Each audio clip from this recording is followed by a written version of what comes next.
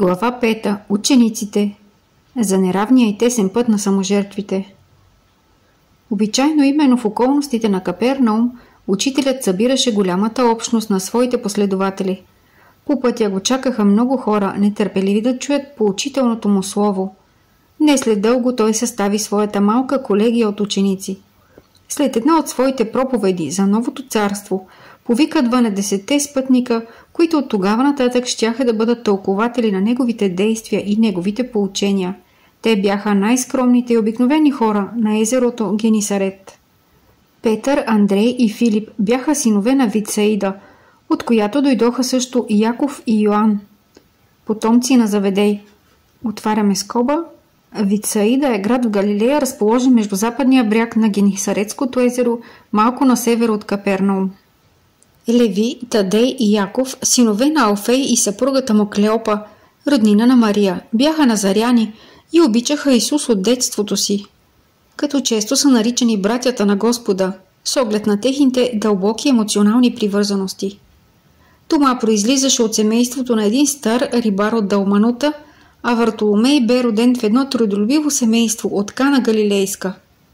Симон, по-късно наречен Зилот – беше напуснал своята земя в Ханаан, за да се посвети на риболова и само един от тях, Юда, беше малко извън тази подредба, тъй като беше роден в Искариот и се бе посветил на малък бизнес в Капернаум, където продаваше риби и кинкалерия. Малката група спътници на Месията първоначално изпитваше известни трудности да се хармонизира. Дребни спорове поредиха отделеност между тях – от време на време учителят ги хващаше в безполезни дискусии за това кой от тях ще бъде по-велик в Царството Божие. В други моменти те искаха да знаят кой от всички разкриваше по-голяма мъдрост в областта на Евангелието. Леви продължаваше задачите си в местната данъчна служба, докато Юда продължаваше с малкия си бизнес, въпреки че те се събираха всеки ден с останалите другари. Другите 10, които живееха почти постоянно с Исус, край прозрачните води на Тиберия, като че ли участваха в един непрестанен празник на светлината. Но с начало на периода на активни дейности по разпространение на новата доктрина, учителят събра 12-те в къщата на Симон Петър и им даде първите инструкции относно Великия апостолат. В съответствие с повествованието на Матей, отваряме скоба, който е апостол Леви, който по-рано споменахме. Първоначалните препоръки на Месията изясняват нормите на действия, които учениците трябва да следват за постиженията, които им се полага да постигнат. Възлюбени, започна да им говори Исус с изключителна кротост. Вие няма да поемете по широкия път, по който вървят всички хора, водени от лесните и ниши интереси. Ще търсите неравния и тесен път на саможертвите за доброто на всички. Също няма да проникнете в центровете на безплодни дискусии в стила на самаряните, в тези места на спорове, които не правят нищо за изграждането на истинското царство в сърцата с искрени усилия. Отидете по-скоро в търсене на изгубените овце от дома на нашия Отец, които се намират в страдания и доброволно са се изолирали от Неговата божествена любов. Съберете с вас всички, които имат мъка в сърцето и им кажете от Мое име, че Царството Божие е дошло. Работете за изцелението на болните, очиствайте прокажените, възкрасявайте онези, които са мъртви в сенките на престъпността или в неблагодарните разочарования на света. Просветлявайте всички духове, които се намират в сенките, давайки безвъзмезно това, което ви е дадено по благодат. Не показвайте злато или сребро в своите дрехи, защото Небесното царство пази най-красивите съкровища за простите. Не събирайте излишното в дисаги, туники или сандали за пътя, защото работникът е достоен за своята прехрана. В който и град или село да влезете, потърсете да разберете кой там иска благата на небето. С искреност и преданост към Бог изподеляйте благословиите на Евангелието с тези, които са достойни, докато си тръгнете. Когато влезете в една къща, поздравете я с любов.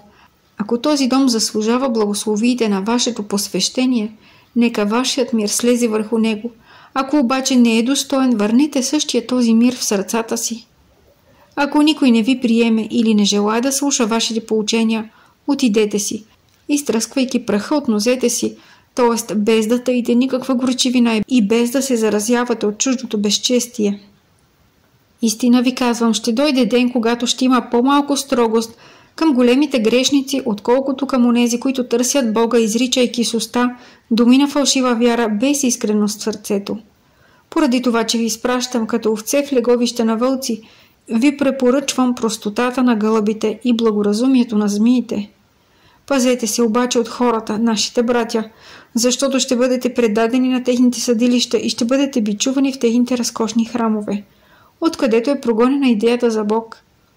Ще бъдете водени като обвиняеми пред губернатори и крале, пред тирани и невярващи, за да свидетелствате за моята кауза. Но в болезнените дни на унижение не се безпокойте как ще говорите, защото моето слово ще бъде с вас и ще бъдете вдъхновени какво трябва да кажете.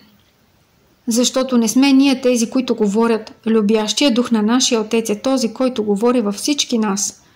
В онези дни на мрак, когато в света ще има битки в мое име, брат ще предаде на смърт собствения си брат, баща децата си, като ще се разпръсне по пътищата зловещата следа на вълците на беззаконието. Онези, които ме следват, ще бъдат презирани и мразени заради мене, но онзи, който устои до край, ще бъде спасен. И така, когато бъдете преследвани в един град, преместете се в друг, защото истина ви казвам, никога повече няма да вървите по човешки пътища, без да ви придружава моята мисъл. Ако трябва да страдате, помислете, че аз също дойдох на земята, за да свидетелствам, а ученикът не е повече от учителя си, нито слугата е над господаря си. Ако противникът на светлината ще обедини срещу мен изкушения и подигравки, присмех и жестокост, какво ли няма да направи на моите ученици?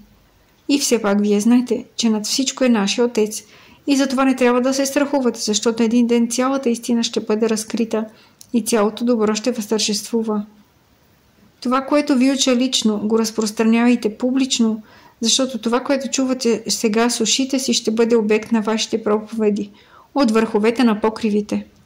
Работете за Божието царство и не се страхувайте от онези, които убиват тялото, но не могат да унищожат душата. По-скоро се страхувайте от злите чувства, които потапят тялото и душата в ада на съвестта. Не се ли продават две връбчета за едно петаче? И все пак никой от тях не пада от гнездото си без волята на нашия Отец. Дори косъмчетата на главите ни са преброени – тогава не се бойте, защото един човек струва повече от много връбчета. Заемете се с любовта към Евангелието и всеки от вас, който ме изповяда пред човеците, аз също ще го изповядам пред моя Отец, който е на небесата. Още известно време се чуваха препоръките на Исус и когато обращението му приключи по лицата на всички премина вътрешна нотка на радост и надежда. Апостолите вярваха, че съзерцават славното бъдеще на Евангелието на Царството – и потръпнаха от радост в сърцата си. Тогава Юда Искариотски, сякаш събуждайки се, преди всичките си другари от тези дълбоки, умайващи емоции, пристъпи към Месията, заявявайки с почтителни и решителни думи Господи, Твоите планове са справедливи и ценни. Въпреки това е разумно да вземем предвид, че няма да успеем да изградим нищо без приноса на малко пари. Исус го погледна спокойно и отговори – дали Бог имаше нужда от преходни богатства, за да конструира красотите на света? В ръцете, които знаят как да ги владеят, парите са един полезен инструмент, но никога няма да бъдат всичко, защото над нетрайните съкровища стои любовта с нейните безкрайни ресурси. Сред всеобщото очудване и след една кратка пауза Исус продължи. Въпреки това, Юда, Макар аз да нямам никоя светска монета, не мога да пренебрегна първото предложение на онези, които ще допринесат с мен за изграждане на царството на моя отец в духа на създанията. Приложи идеята си на практика, но бъди внимателен с изкушението на материалните притежания.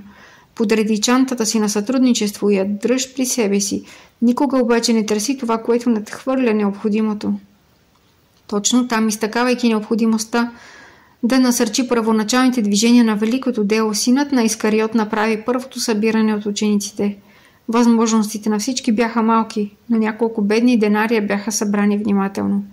Учителя наблюдаваше изпълнението на тази първа мярка с една усмивка, изпълнена с опасения, докато Юда внимателно пазеше скромния плод на своята материална идея.